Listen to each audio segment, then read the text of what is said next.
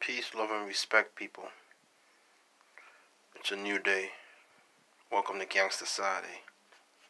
When we think of a gangster, most of the time we think about money. Right?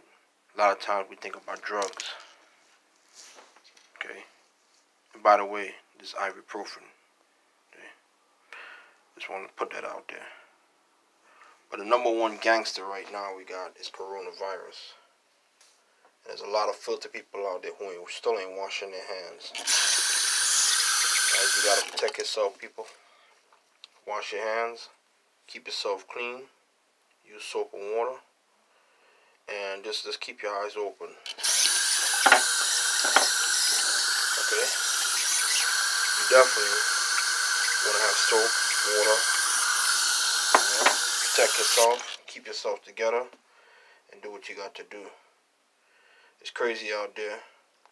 And um, j- just be careful where you go, what you do, and who you do it with. And just watch your back. I'm to talk to you on the next one. Keep your eyes open. Soap, water.